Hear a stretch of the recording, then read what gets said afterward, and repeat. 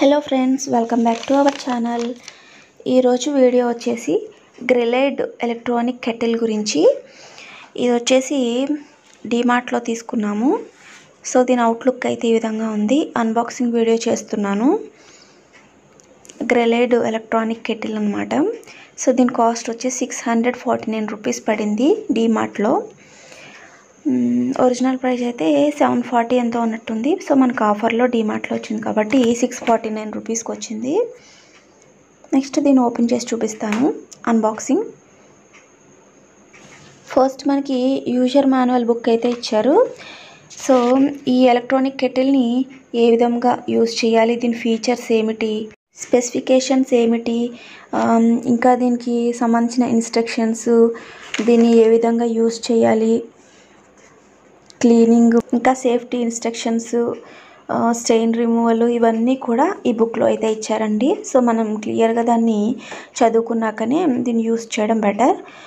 ఇంకా కెటిల్ యొక్క బాడీ వచ్చేసి స్టెయిన్లెస్ స్టీల్తో ఇచ్చారు. చాలా బాగుంది. ఇంకా దీని హ్యాండిల్ దగ్గర అయితే మనకి పవర్ బటన్ ఆన్ ఆఫ్ ఇచ్చారండి. సో జీరో వన్ నెంబర్ ఉన్నాయి. జీరో అంటే ఆఫ్ వన్ అంటే ఆను.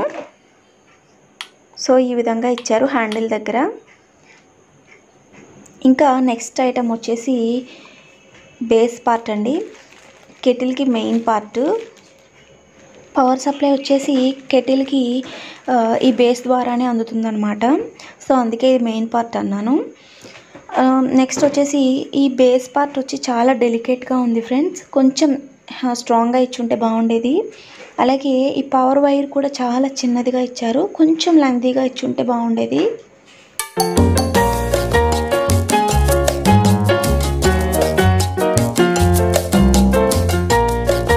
అలాగే పిన్ కూడా వచ్చి త్రీ వే పిన్ ఇచ్చారండి.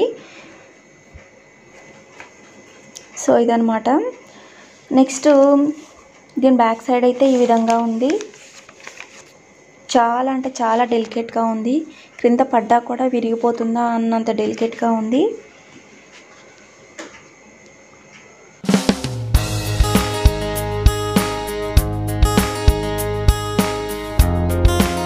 నెక్స్ట్ వచ్చేసి లిడ్ని ఏ విధంగా ఓపెన్ చేయాలంటే పక్కనే లిడ్ బకెలని చిన్నగా ఇచ్చారు. కొంచెం ప్రెస్ చేస్తే ఈ విధంగా ఓపెన్ అవుతుంది.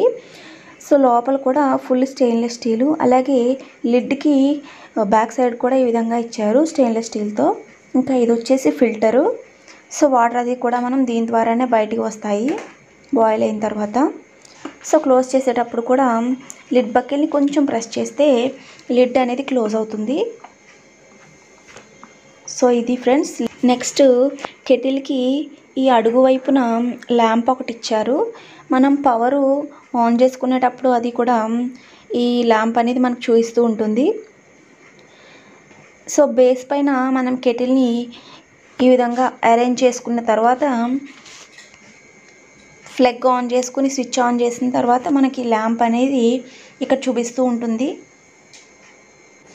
అలాగే కెటిల్ కూడా బేస్ పైన మనం ఎటు తిప్పితే అటు తిరిగే విధంగా చాలా ఫ్రీగా మూవ్ అవుతుందన్నమాట. అంటే అంత టైట్గా ఏమీ ఉండదు. మనం ఫిక్స్ చేసేసుకున్న తర్వాత చాలా ఈజీగానే ఉంటుంది. ఇంకా ఇందులో వాటర్ అనేది ఏమీ వేయకుండా కెటిల్ని మాత్రం అస్సలు ఆన్ చేయకూడదు. అలాగే వాటర్ కూడా ఇందులో ఫుల్గా వేయకూడదు.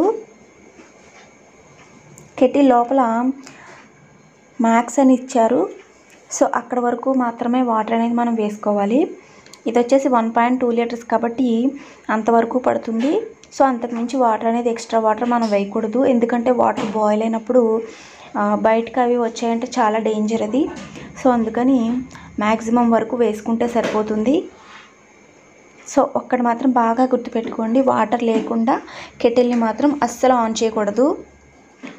అలాగే వాటర్ బాయిల్ అవుతుండగా లిడ్ అనేది ఓపెన్ చేసి చూడకూడదు. ఈ యూజర్ మాన్యువల్ బుక్లో మనకు అన్నీ కూడా చాలా క్లియర్గా ఇచ్చారు. వాటర్ కూడా ఓవర్ ఫ్లోటింగ్ అయితే మనం వేయకూడదంట.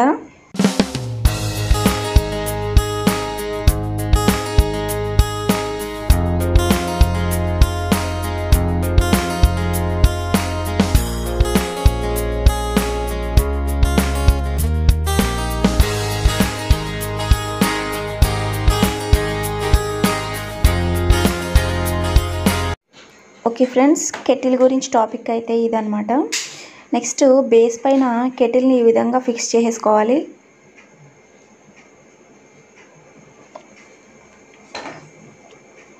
ప్లగ్లో కూడా పెట్టేసుకున్న తర్వాత ఫస్ట్ టూ టైమ్స్ వచ్చేసి వాటర్తో బాయిల్ చేసుకోవాలండి. ఆఫ్టర్ నెక్స్ట్ అయితే మనం వాడుకోవాలి. ఫస్ట్ టైం మ్యాక్సిమం వరకు వాటర్ వేసేసుకోవాలి. టెన్ సెకండ్స్లో ఫుల్ బాయిల్ అయిపోతాయి అన్నమాట.